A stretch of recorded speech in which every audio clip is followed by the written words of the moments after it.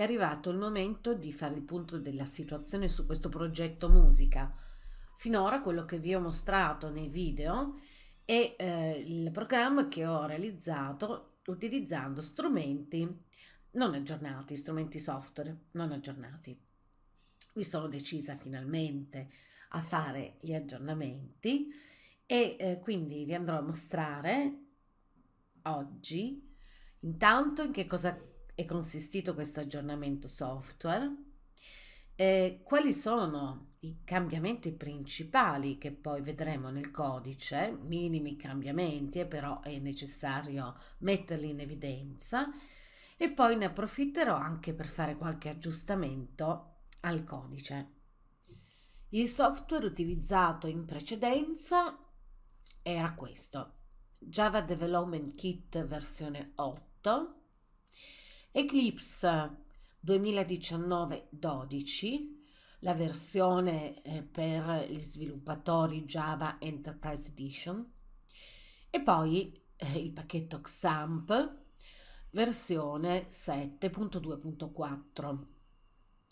Attualmente invece sto utilizzando il JDK 17 e la versione di Eclipse, quella del 2021-09, perché la più recente, non so come mai ci sono, non è la prima volta che mi capita di trovare eh, problematiche di funzionamento, bug con le versioni più recenti di Eclipse quindi questa versione a me dà problemi con JavaScript, nel senso che va in crash l'applicazione.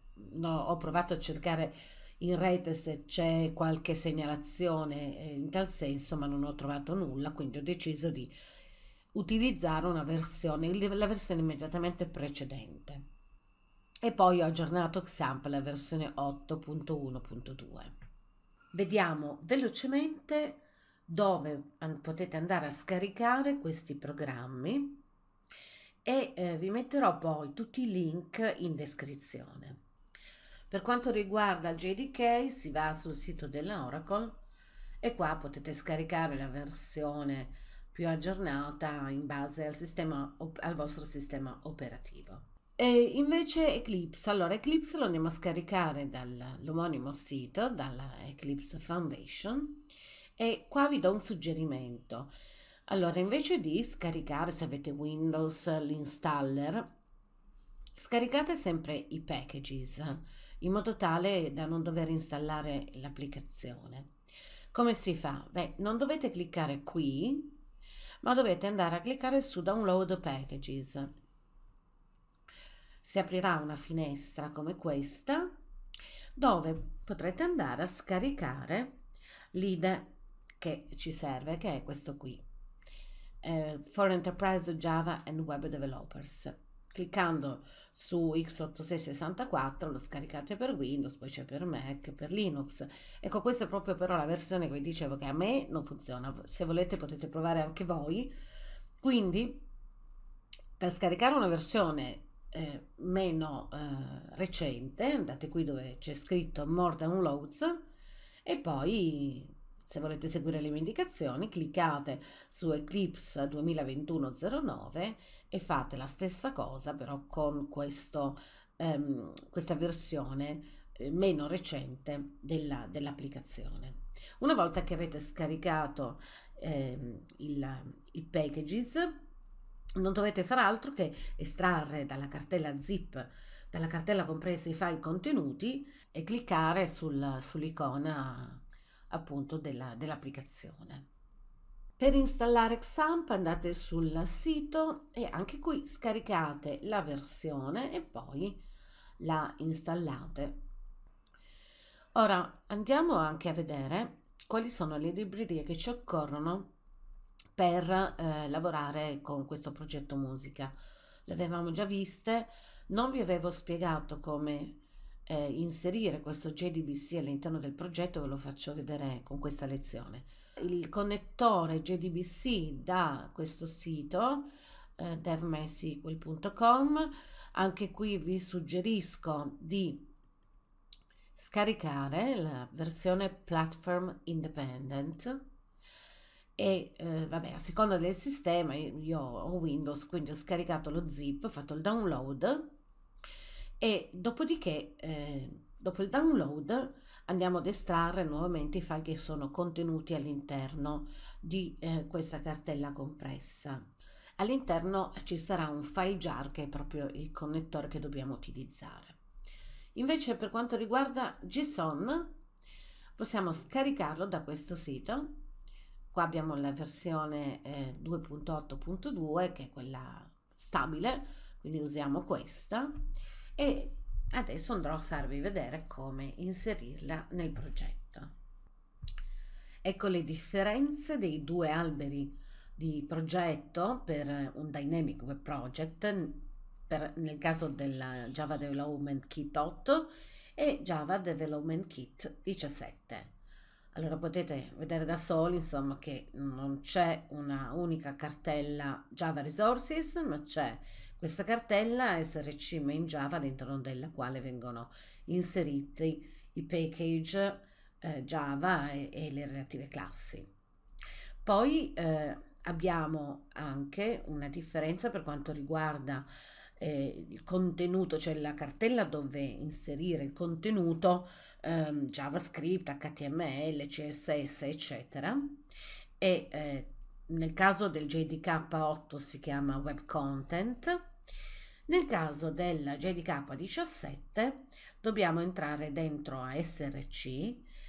Eh, all'interno troviamo una cartella main e al suo interno ancora una cartella Java che contiene lo stesso codice che si trova all'interno di SRC in Java e poi quest'altra cartella web app all'interno della quale possiamo andare a collocare il um, codice del front-end. Quindi non cambia assolutamente nulla per ciò che riguarda il contenuto del, del precedente, quindi quello che c'era all'interno delle classi Java, del, dello script JavaScript, delle, dei file HTML, però cambia il modo in cui eh, questi file sono organizzati all'interno del progetto. Adesso andiamo a vedere come inserire all'interno di questo progetto il connettore JDBC indispensabile per poter comunicare con il DBMS server. Dopo aver scaricato il connettore, lo andiamo a collocare all'interno della cartella di Tomcat. Se non avete mh, predisposto voi in, in, maniera diversa la cartella di installazione di XAMPP, questo si trova sotto il disco locale C. Quindi andiamo, entriamo dentro XAMPP e andiamo dove c'è Tomcat, apriamo la cartella lib e al suo interno andiamo a incollare il connettore che abbiamo scaricato in precedenza. Attenzione, questo appunto è un file jar che ha questa icona. Poi la procedura che vi illustro adesso funziona eh, in modo uguale indipendentemente dalle versioni del software utilizzata. Quindi per poter inserire questo connettore all'interno del progetto ci sono sostanzialmente due modi di agire. Il primo modo è questo, andate sul progetto, fate clic con il tasto destro del mouse sul nome del progetto, poi eh, andate a scegliere dal menu che compare Build Path, Configure Build Path, poi scegliete Libraries in questa scheda, eh, selezionate Class Path e aggiungete cliccando su Add External Jars, andate a prendere il connettore e confermando lo inserite all'interno del progetto.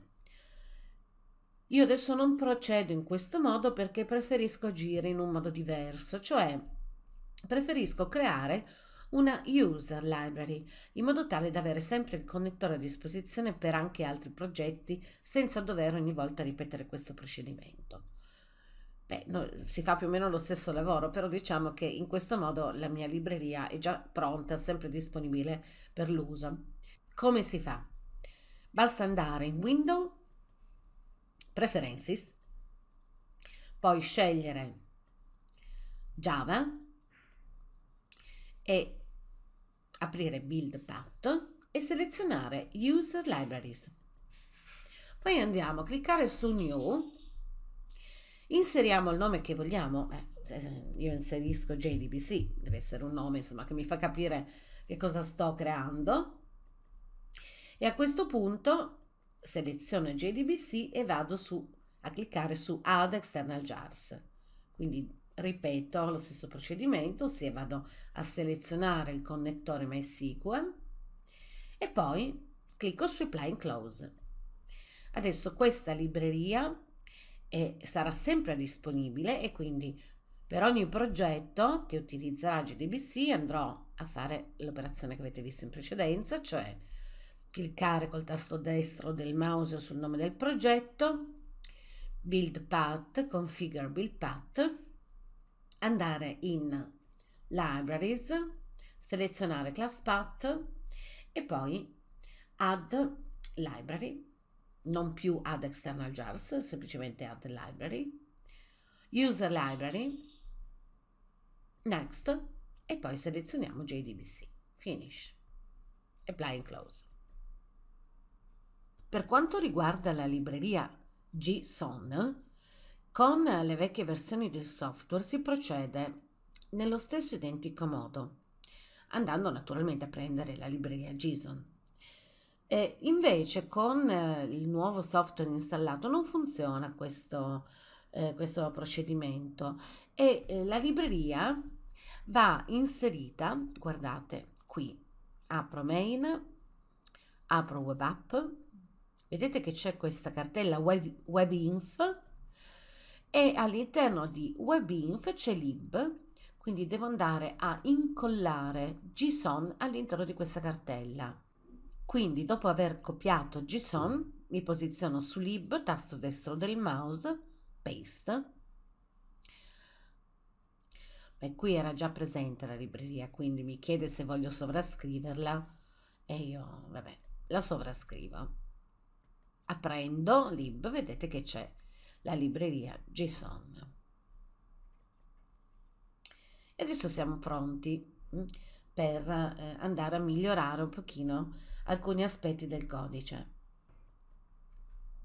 Si tratta in realtà di eh, veramente piccole modifiche. Un ulteriore controllo eh, che ho aggiunto mm, rispetto a quelli che c'erano già riguarda l'anno inizio e l'anno fine eh, dell'attività di un artista, perché eh, nel caso in cui l'utente inserisca un anno di fine che è antecedente l'anno di inizio, ovviamente si tratta di un errore. Quindi questa ulteriore condizione, anno fine, end, anno fine maggiore o uguale inizio, significa che è stato inserito l'anno di fine, e si va a verificare che l'anno di fine sia effettivamente maggiore o più uguale all'inizio. Oppure non c'è l'anno di fine, quindi in una di queste due situazioni allora si eh, va a preparare l'oggetto, inviarlo al server. Se l'anno di fine è minore dell'anno inizio, allora in questo caso si viene prodotto in output il messaggio che l'anno di fine attività non può essere minore dell'anno di inizio. Questo commentato invece è un altro modo di esprimere la stessa condizione. Qua si potrebbe anche inserire un doppio uguale. Il doppio uguale con la negazione oppure il triplo uguale in JavaScript fa una verifica non solo sull'uguaglianza del valore, ma anche sull'uguaglianza del tipo di dato.